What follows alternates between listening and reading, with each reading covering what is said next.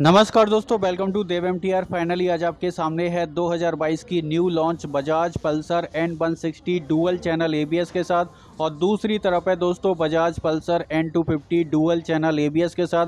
आज इस वीडियो में मैं दोनों बाइक का डिटेल कंपैरिजन करने वाला हूँ कि दोनों बाइक में आपको क्या क्या अलग फीचर्स देखने को मिलते हैं, पावर और परफॉर्मेंस कैसी है। सबसे पहले कीमत की बात करें तो एन वन सिक्सटी की ऑन रोड कीमत है एक लाख छप्पन हज़ार सात सौ ग्यारह रुपये और एन टू फिफ्टी की ऑन रोड कीमत है एक लाख छियासी हज़ार पाँच सौ रुपये दोनों बाइक में उनतीस हज़ार सात सौ सतासी रुपए ऑन रोड कीमत का अंतर है दोस्तों। सबसे पहले मिरर की बात करें तो दोनों बाइक में आपको सेम टू सेम मिरर मिलते हैं। इसके साथ ही एन वन सिक्सटी वाली बाइक में आपको हेलोजन इंडिकेटर मिल जाते हैं नॉर्मल बल्ब के साथ। जबकि एन टू फिफ्टी वाली बाइक में आपको एलईडी इंडिकेटर्स मिलते हैं। इसके साथ ही यहाँ पर आपको एलईडी डीआरएल मिल जाते हैं। नीचे में आपको वाई फंक्शनल एलईडी प्रोजेक्टर का सेटअप मिल जाता है। तो अभी मैं चाबी को ऑन कर देता हूँ। जैसा कि आप देख सकते हैं, इसमें आपको ऊपर में दो आई सेफ़ डी मिल जाते हैं। नीचे में आपको LED प्रोजेक्टर का सेटअप मिलता है। और यहाँ पर आपको रेड कलर और वाइट कलर की स्टिकरिंग मिल जाती है। जबकि एन टू फिफ्टी वाली बाइक में भी आपको सेम एल ई मिल जाते हैं। और नीचे में आपको वाई फंक्शनल एलईडी प्रोजेक्टर का नीचे में सेटअप मिल जाता है। दोनों बाइक की जो हेडलाइट की जो डिज़ाइन है, वो यहाँ पर आपको सेम मिलती है। सेम स्विचेस के साथ में दोस्तों, दोनों में सिर्फ़ इंडिकेटर का फ़र्क दिया गया है फ्रंट सेक्शन में। एन वन के मडगार्ड की बात करें तो डुअल पीस में इसका मडगार्ड मिलता है। यहाँ भी आपको एन टू में भी आपको डुअल पीस मडगार्ड मिलता है। इसके साथ ही एन टू के आगे वाले व्हील एरिया की बात करें तो यहाँ पर आपको 300 सौ mm डायमीटर की डिस्क मिल जाती है। इसमें आपको dual channel ABS braking system मिल जाता है। यहाँ पर आपको 300 सौ mm की डिस्क है, रिफ्लेक्टर मिल जाते हैं और क्रेमिका के यहाँ पर आपको कैलिपर्स और 100 बाई एटी सेक्शन के ट्यूबलेस टायर मिल जाते हैं 17 इंच के ब्लैक कलर के एलोबिल के साथ। पल्सर एन टू का आगे वाला जो सस्पेंशन है, वो यहाँ पर आपको सैंतीस एम के साथ टेलीस्कोपिक वाला सस्पेंशन दिया गया है। जबकि अगर हम बात करें Bajaj Pulsar N one sixty के बारे में तो इसमें भी आपको डुअल चैनल एबीएस का ऑप्शन मिल जाता है 300 सौ mm की। यहाँ पर आपको डिस्क मिल जाती है, क्रेमिका के कैलीपर्स मिल जाते हैं, हंड्रेड बाई एटी सेक्शन का यहाँ पर आपको ट्यूबलेस टायर मिलता है सत्रह इंच के ब्लैक कलर के एलोबिल के साथ। और एन वन का भी जो सस्पेंशन है आगे वाला, यहाँ भी आपको सैंतीस एम mm का टेलीस्कोपिक मिलता है। दोनों बाइक की मीटर कंसोल की बात करें तो पल्सर एन वन सिक्सटी में आपको digital plus analogue meter console दिया गया है, जिसके साइड में आपको ऑयल इंडिकेटर चेक इंजन की लाइट बैटरी की वार्निंग साइड स्टैंड की वार्निंग टर्न इंडिकेटर हेडलाइट की वार्निंग मिल जाती है आरपीएम मीटर मिल जाता है, यहाँ पर आपको गियर इंडिकेटर मिल जाता है स्पीडोमीटर डिजिटल फ्यूल गॉज मिल जाता है ओडोमीटर ट्रिम मीटर और डिस्टेंस टू एम मिल जाती है, ऊपर में आपको एबीएस आरपीएम लिमिट की एक इंडिकेशन लाइट मिल जाती है गियर न्यूट्रल इंडिकेटर मिल जाता है और यहाँ पर आपको डिस्प्ले में रियल टाइम माइलेज इंडिकेटर मिल जाता है। यहाँ पर आपको मोड का और एक सिलेक्ट का बटन मिल जाता है।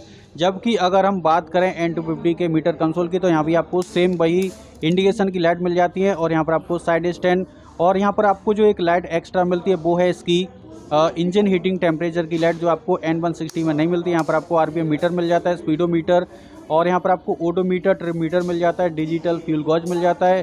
डिस्टेंस टू एमटी की रीडिंग मिल जाती है। ऊपर में आपको देखें तो यहाँ पर आपको एबीएस टर्न इंडिकेटर और गियर न्यूट्रल इंडिकेटर मिल जाता है। टॉप स्पीड की बात करें तो Bajaj Pulsar N two fifty में आपको 150 किलोमीटर प्रति घंटे के आसपास टॉप स्पीड मिल जाती है। आफ्टर फ़र्स्ट सर्विसिंग के साथ दोस्तों अगर हम बात करें बजाज पल्सर एन वन की टॉप स्पीड के बारे में तो उसमें आपको 120 किलोमीटर प्रति घंटे के आसपास टॉप स्पीड मिलती है। यहाँ पर आपको सेम स्विचेस मिल जाते हैं, दोनों ही बाइकों में। स्विचेस में आपको कोई भी अंतर देखने को बिल्कुल भी नहीं मिलेगा। पल्सर एन वन में आपको यूएसबी मोबाइल चार्जिंग का पोर्ट मिल जाता है और यहाँ पर आपको चौदह लीटर का बड़ा सा फ्यूल टैंक मिलता है। ग्रे कलर के स्टिकर और मेटल बॉडी और फाइबर बॉडी मिल जाती है। पल्सर का थ्री में लोगो मिल जाता है। क्रोम के साथ जबकि एन टू फिफ्टी वाली बाइक में भी आपको पल्सर का थ्री में लोगो मिलता है। ग्रे कलर के स्टिकर मिल जाते हैं और इसके साथ ही यहाँ भी आपको यूएसबी मोबाइल चार्जिंग का पोर्ट मिलता है। दोनों के रियर व्हील एरिया की बात करें तो एन वन सिक्सटी में आपको 230 mm की डिस्क मिल जाती है एबीएस के साथ और 130 70 17 के ट्यूबलेस टायर मिल जाते हैं। 17 इंच के ब्लैक कलर के एलोबील के साथ यहाँ पर एक बड़ा सा टायर हगर मिल जाता है। मोनोसॉक्स नाइट्रॉक सस्पेंशन मिल जाते हैं। 130 mm का पीछे वाला टायर जो है वो काफ़ी वैड और काफ़ी चौड़ा है। एन में भी आपको दो 230 mm की रियर में डिस्क मिल जाती है एबीएस के साथ। बड़ा सा मड फ्लैप मिल जाता है, टायर हगर मिल जाता है और यहाँ भी आपको 130 70 17 का ट्यूबलेस टायर मिल जाता है और यहाँ भी आपको नाइट्रॉक्स मोनोसॉक्स टाइप का सस्पेंशन मिल जाता है। दोनों बाइक के एग्जॉस्ट के बदलाव की बात करें तो एन टू फिफ्टी में आपको ट्विन बैरल टाइप का यहाँ पर आपको एग्जॉस्ट मिल जाता है जो कि फुल मेटल बॉडी के साथ दिया गया है। जैसा कि यहाँ से आप इसको देख सकते हैं। इसके साथ ही अगर हम बात करें पल्सर एन वन सिक्सटी के बारे में तो इस बाइक में आपको अंडर वेली एग्जॉस्ट मिल जाता है, जो कि इंजन के नीचे की साइड में अटैच किया गया है। जैसा कि यहाँ से आप इसको पूरी तरह से देख सकते हैं दोस्तों। तो चलिए दोस्तों, अब मैं आपको बजाज पल्सर एन वन का एग्जॉस्ट का साउंड चेकआउट करा देता हूँ। तो आपको इसके एग्जॉस्ट का साउंड कैसा लगा चेकआउट करके बता सकते हैं। और अब मैं आपको एन टू फिफ्टी के इंजन के और इसके एग्जॉस्ट के साउंड को चेकआउट करा देता हूँ। पल्सर एन टू फिफ्टी का जो एग्जॉस्ट का जो साउंड है, वो थोड़ा सा हैवी है compare to N one sixty तो चलिए बात करते हैं दोनों बाइक के रियल टेल लाइट सेक्शन के बारे में। तो यहाँ पर आपको एन वन सिक्सटी का स्टिकर मिल जाता है और यहाँ भी आपको एन टू फिफ्टी का स्टिकर मिलता है। दोनों में आपको सेम कलर के स्टिकर मिलते हैं। सीट कंफर्ट की बात करें तो यहाँ पर आपको स्प्लिट सीट मिल जाती है एन वन सिक्सटी में पल्सर की।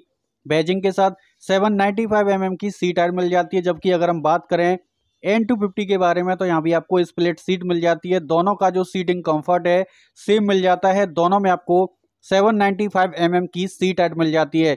इसके साथ ही एन वन सिक्सटी के पीछे की तरफ़ चलें तो ये बाइक देखने में भी काफ़ी स्पोर्टी लगती है। यहाँ पर आपको स्प्लिट टाइप के ग्रेवरेल मिल जाते हैं। सेम यही चीज़ आपको पल्सर एन टू फिफ्टी में भी सेम देखने को मिल जाती है। और पल्सर एन वन सिक्सटी के टेल लाइट सेक्शन की बात करें तो स्प्लिट एलईडी टेल लाइट मिल जाती है क्रिस्टलाइन टाइप की, जो कि देखने में काफ़ी यूनिक और स्टाइलिश लगती है। सेम यही चीज़ यहाँ पर आपको एन टू फिफ्टी में भी मिल जाती है। सेम दोनों में आपको टेल लाइट मिल जाती है। दोनों बाइक के पीछे के अंतर की बात करें तो इस एन टू फिफ्टी वाली बाइक में आपको पीछे में एलईडी टाइप के इंडिकेटर मिल जाते हैं। जैसा कि यहाँ से आप इसको देख सकते हैं, जो कि थोड़े से फ्लैक्सीबल हैं, जबकि एन वन सिक्सटी में आपको ओनली हेलोजन टाइप के इंडिकेटर मिलते हैं। अगर आप चाहें तो इनको अलग से भी लगवा सकते हैं एलईडी टाइप के। एन वन सिक्सटी के इंजन की तरफ़ चलें तो यहाँ पर आपको D T S I twin spark की बैजिंग मिल जाती है। यहाँ पर किक स्टार्ट का लीवर नहीं मिलता है, लेकिन इसमें आप अलग से बाद में भी किक लगवा सकते हैं। इसके साथ ही टू पीस यहाँ पर आपको इंजन कॉल मिल जाता है। इसमें 162.82 सीसी का oil cooled four stroke two valve FI engine दिया है, जो 16 पीएस की पावर देता है 8750 आरपीएम पर। और चौदह दशमलव सिक्सटी फाइव न्यूटन मीटर का टॉर्क जनरेट करता है छः हज़ार सात सौ पचास आरपीएम पर। एक सौ पैंसठ एम की ग्राउंड क्लियरेंस मिल जाती है। दोनों के सबसे बड़े अंतर की बात करें तो एन वन सिक्सटी का जो रेडिएटर कूलिंग सिस्टम है, वो यहाँ पर आपको थोड़ा सा छोटा मिलता है compare to N two fifty के मुकाबले। एन टू फिफ्टी के इंजन की तरफ़ चलें तो यहाँ भी आपको D T S I twin spark की ब्रांडिंग मिल जाती है। ओनली सेल्फ स्टार्ट के साथ ये बाइक आती है। इसमें किक स्टार्ट का कोई भी ऑप्शन नहीं दिया गया है। टू पीस इंजन कॉल मिल जाता है, एक सौ बासठ से चौंसठ के इसका कर्व वेट है। इंजन की बात करें तो 249.07 सीसी का oil cooled four stroke two valve FI engine दिया है। जो 24.5 पीएस की पावर देता है 8,750 आरपीएम पर और 21.5 न्यूटन मीटर का टॉर्क जनरेट करता है 6,500 आरपीएम पर। सबसे बड़े बदलाव की बात करें तो N250 का जो रेडिएटर कूलिंग सिस्टम है वो यहाँ पर आपको N160 के कंपैरिजन में काफ़ी बड़ा मिल जाता है। जैसा कि यहाँ से आप इसको देख सकते हैं N160 का जो कर्व वेट है वो है एक सौ चौवन के जी दोनों में छः के जी का फ़र्क है। Bajaj Pulsar N two fifty में आपको पाँच गियर का मैनुअल सेटअप मिलता है। इसमें आपको पाँच गियर मिलते हैं। साइड स्टैंड के ऊपर आपको इंजन कट ऑफ़ का सेंसर मिल जाता है। माइलेज की बात करें तो ये बाइक आपको 30 से 35 का आसानी से माइलेज दे देती है। यहाँ भी आपको open chain set cover, adjustable footrest मिल जाते हैं। कंपनी फिटेड ब्लैक कलर का साडी गार्ड मिल जाता है। जबकि अगर हम बात करें पल्सर एन वन सिक्सटी के बारे में तो इसमें भी आपको पाँच गियर का मैनुअल सेटअप मिल जाता है, पाँच गियर मिल जाते हैं। साइड स्टैंड के ऊपर आपको इंजन कट ऑफ़ का सेंसर मिल जाता है, मैन स्टैंड भी मिल जाता है। माइलेज की बात करें तो ये बाइक आपको 40 से 45 किलोमीटर प्रति लीटर का आसानी से माइलेज देती है। तो अब बात करते हैं कि दोनों में से आपको कौन सी बाइक लेनी चाहिए। अगर आपका बजट कम है और आप एक ज़्यादा माइलेज वाली बाइक लेना चाहते हैं, एक सीसी के अंदर तो पल्सर एन आपके लिए एक अच्छा ऑप्शन साबित हो सकती है। अगर आपको ज़्यादा पावर परफॉर्मेंस चाहिए तो आप एन टू फिफ्टी में भी जा सकते हैं। इस बाइक को खरीदने के लिए आप Rolta Bajaj B road Kolkata showroom में विज़िट करें। शोरूम की सारी जानकारी आपको वीडियो के डिस्क्रिप्शन बॉक्स में मिल